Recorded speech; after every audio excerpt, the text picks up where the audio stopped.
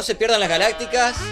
Gracias a Loto, Cristian Roldán y este exquisito movimiento que dejó boquiabierto a nuestro especialista Alejandro Dentoni, como vemos en la reiteración, engancha y son cuatro los jugadores de Atlético que pasan de largo como colectivo lleno, que se comen el amague de este buen lateral izquierdo que tiene Quilmes. Ahora el Cusquito Valiente le quiso pegar el arco, pero le pifió, se terminó cayendo y hasta levantando polvareda.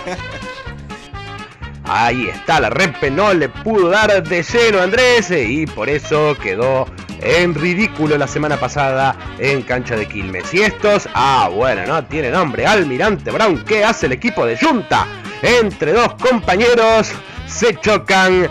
Díaz le comete infracción al 8. Realmente detestable, lamentable. Bueno, al otro tampoco es para tanto, no lo hicieron a propósito. Joel Sachs domina la pelota y mete ese hermoso tubo. ¿Te gustó, Ale? ¿Qué quiere decir eso? Qué lindo caño que metió el pibe que además convirtió el gol del empate. Lindo sombrero y pif de Matías Esbrun. ¿Qué te pareció esto, querido Ale? ¿Cómo te le vas a reír así?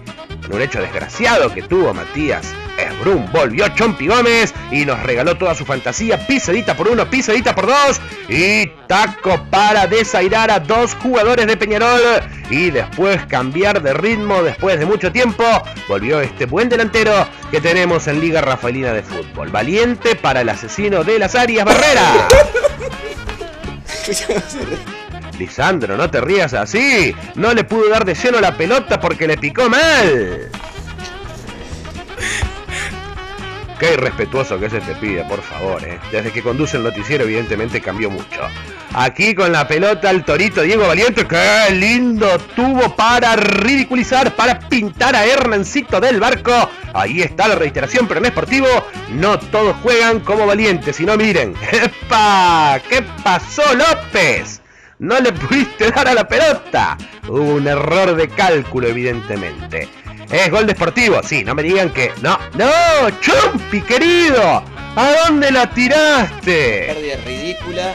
Tenés razón, Ale, en esta. No lo podía creer. El atacante que volvía. Terrible falta de Antenori sobre Oliva, el volante de Argentino de Humberto. Y miren esto. Desborde Pif por uno, Pif por dos. Está claro que le cuesta mucho hacer goles a Argentino de Humberto y de esta manera se complica en demasía o no, Aloto. Tiene que desaparecer de la tierra. Eh, tampoco era para tanto. Seguimos con más información.